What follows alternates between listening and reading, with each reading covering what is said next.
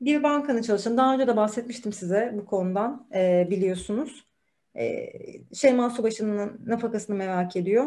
Giriyor, banka hesabına bakıyor, fotoğrafını alıyor, sosyal medyada paylaşıyor. En azından basında anlatılan şekli bu. Dosyanın içeriğini bilmeden konuşmamız çok doğru olmasa da onun parantezini açıyorum.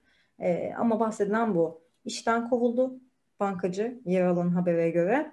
E, ciddi bir tazminat davası var konuyla ilgili. Çok daha önemlisi ceza ile yargılanıyor. Ceza davası ile yargılanıyor.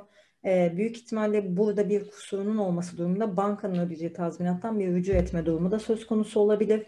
Yani e, bu denli önemli sonuçlara yol açabilecek bir durum. Sosyal medya bu işin en tehlikeli taraflarından biri.